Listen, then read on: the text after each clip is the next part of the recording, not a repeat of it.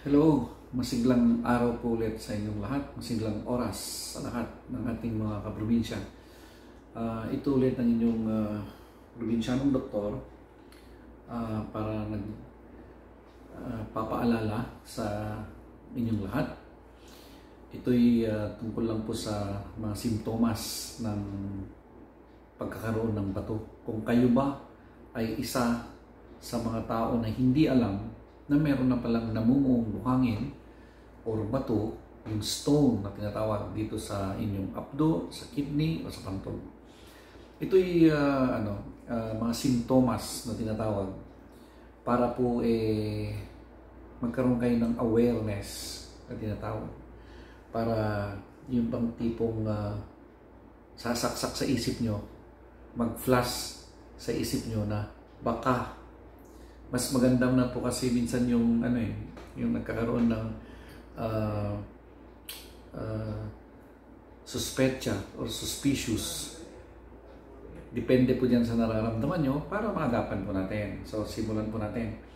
Uh, isa po dito yung ano, isang simptomas. Uh, una, yung minsan eh parang nagkakaroon ng kakaibang kulay ng ihi nyo.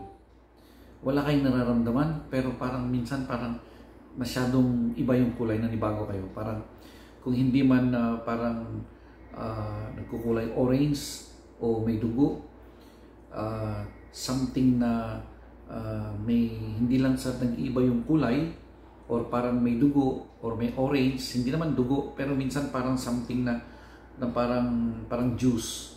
Tapos may amoy pa minsan.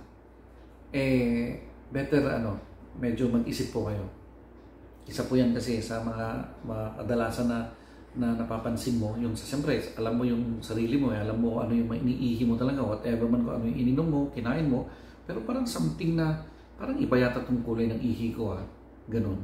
Eh kung napapansin nyo po na mawawala man yan, kung siyempre, ang tendency nag-water therapy, pero kung nawawala man at nabalik, after few days, ayun na naman, so isa po yan sa mga medyo ating uh, tingnan may mga pangalawa po eh, meron panahon na tayo ay parang uh, nagko-cold clammy or pinapawisan ka na parang masamang pakiramdam mo.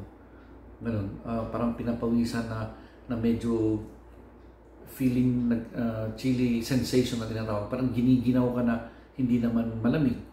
Parang tipong gano'n. Parang milalagnatin ang pakiramdam mo. Parang katrangkasuhin na something na may kasama pang uh, giniginaw ka, parang kikiligin ka ng konti. Eh, lalo na kung medyo na, nauulit, napapadalas, no? So, hindi po rin magandang ano yan, uh, sintomas yung parang nanlalamig ka na hindi naman dapat dahil ang, ang, ang paligid, the weather is hindi naman malamig. Ang tipong ganun na sinasabayan po ng pagsama ng katawan mo, na parang binugbog ang katawan, parang tatrangkasuin, hindi mo maintindihan Uh, yan po yung isa sa sintomas. Pangatlo, uh, meron yung tinatawag na parang uh, pabalik-balik na sakit. Parang sumasakit ang tagiliran mo sa kaliwa, kanan, or sa balakang, tapos nawawala. And then, pansin mo, after few days or weeks, ayun na naman, mga tipong ganun, yung mga mga on and off na na ano na nararamdaman na masakit ang kung hindi man itong tiyan, yung tagiliran, o itong balakang na tinatawag. Tapos uh, meron din tayo yung tinatawag na uh, yung uh, infection. Parang minsan kasi ang ano ang ang sintomas ng bato minsan pag nagkakaroon ng hindi mo alam na nagkakaroon ng buhangin o nag, medyo malaki na yung nag, may nagpo-form na, na stone doon sa daanan ng ihi or sa kidney mismo o sa pantog mismo, nagkakaroon minsan ng, ng pag-iiba doon sa pag-ihi mo. Minsan parang, parang nababarahan pa. Parang uh, uh, yung, uh, yung, yung tawag dito, uh, hindi makaano, hindi, uh, hindi makadaan totally yung ihi. Parang there is some may mga feeling na ganyan kasi minsan na parang dati hindi ka naman ganun pero parang bakit nagkakaroon ka ng parang meron pa na feeling mo meron pa pero parang wala namang nalabas na parang ganyan. Or nagkakaroon ka ng tinatawag na na burning sensation, mainit or something na balisawsaw, parang tipong ganyan. Yung nagkakaroon ba ng tipong infection, na kaya pala nagkakaroon ng infection o nagiging prone ka na sa UTI na tinatawag. Kasi nagkakaroon na ng ano ng uh, bara or may bato ka na pala doon na namumuo. Kaya kung doon nagsisimula yung infection, nagkakaroon isa ng pangangamoy ng naninibago ka sa amoy ng ano mo na hindi magandang amoy ng ng ihi mo o kaya minsan naman yung kadalasan kasi diyan po eh para kang minamalarya kasi nasasabayan pa yan ng parang kinawin ka talaga na hmm, unusual parang bakit ako giniginaw na parang gusto mag-chill na hindi mo maintindihan para magmamalarya ka na ngayon kasabay siyempre yung hindi mo napapansin, napapansin mo nakakaiba doon sa ihi yan so yun yung mga ano ah uh, yun yung mga simptomas na parang nagkakaroon ng something na magsuspecha ka na ikaw mismo, sarili mo, eh parang, parang yatang ano, there is something, something, parang ganyan. Uh, alam naman natin na ano, uh, yung, na yung mas malaki na bato, na, na nabuo na, eh usually mas maraming simptomas. Uh, yun na nga yung mga simptomas na nabanggit natin.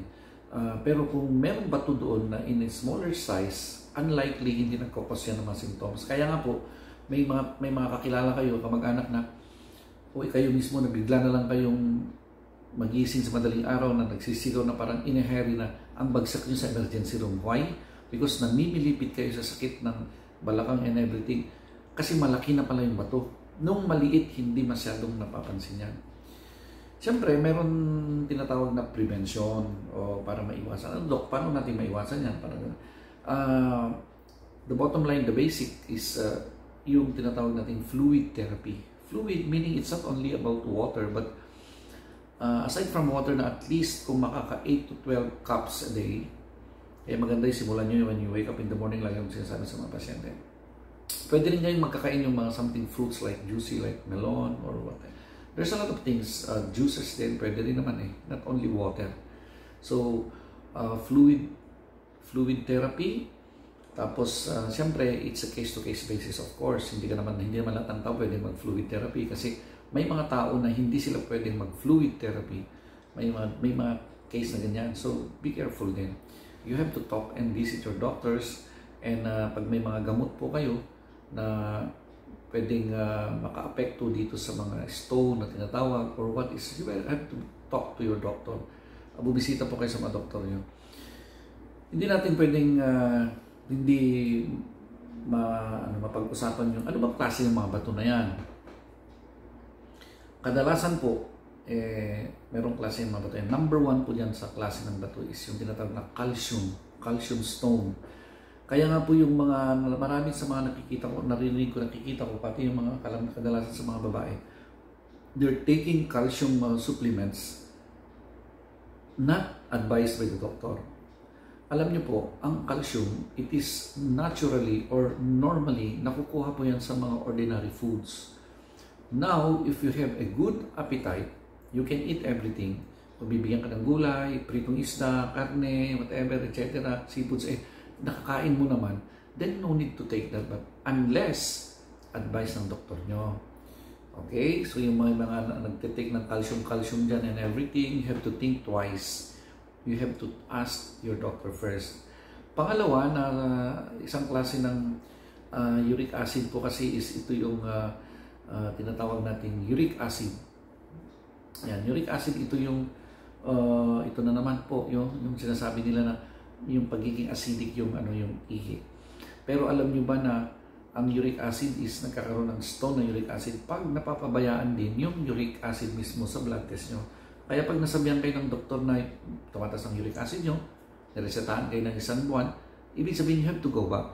Hindi porke nakainom kayo ng isang buwan, eh tama na. No, that's not enough.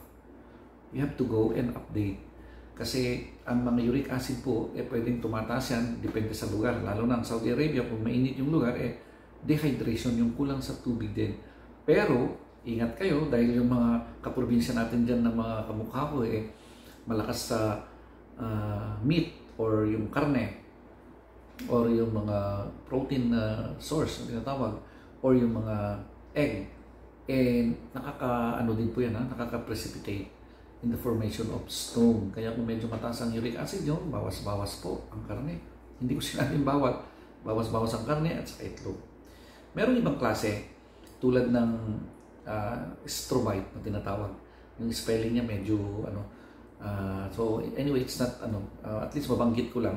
Uh, ito naman po eh ito yung pag nagiging kulang na naman sa tubig, pag naging concentrated ng konti yung mga tinatawag nating uh, uh, nagkakaroon ng madalas ng UTI o nagkakaroon ng yung mga waste product ng katawan natin eh uh, or yung mga bacteria causing ammonia na tinatawag yung ammonia yung kaya nga po mag- malaking bagay yung ano kung ano man maraming bagay dito kasi tulad ng mga tinatawag natin mga ibang electrolytes iba rin tulad ng mga magnesium mga salt phosphate ganyan. Kung medyo malabo at medyo hindi natin naintindihan yun eh isa lang na ibig sabihin nun. You have to drink more water or fluid ganun Meron naman isang klase pa, yung cystine, tinatawag.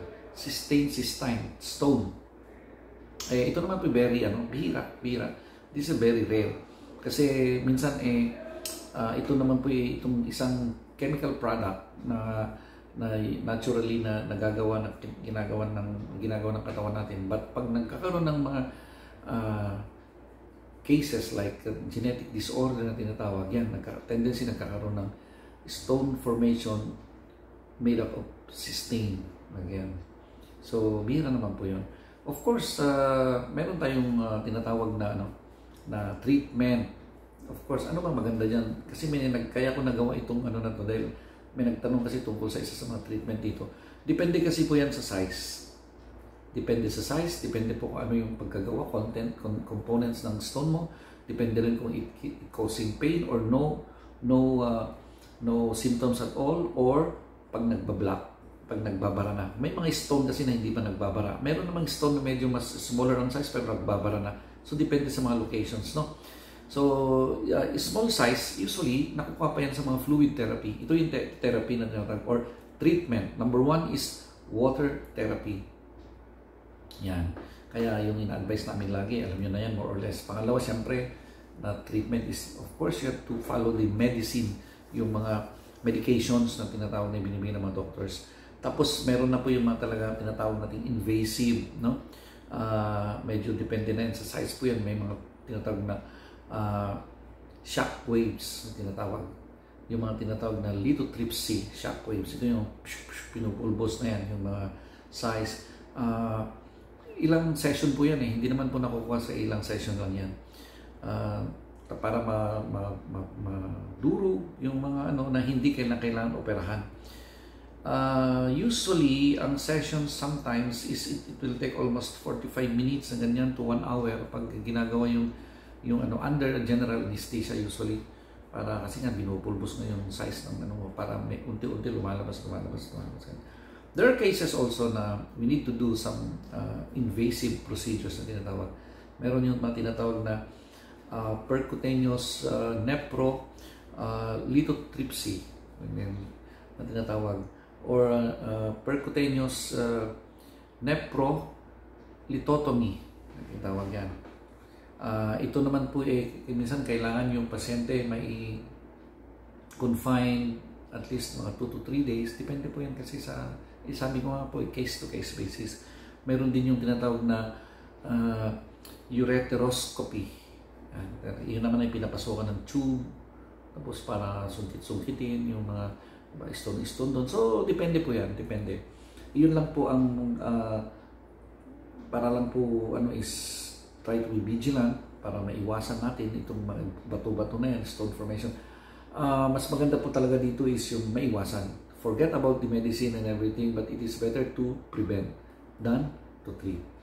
Kaya ito'y nagawa lang na video, mga kaprobinsya, just to remind na uh, itong ating mga kababayan, of course, um, na magiging uh, health conscious naman po kayo ng konti para maiwasan natin, lalo na alam niyo naman, hindi lang sakit sa katawan yan, sakit sa bulsa pa.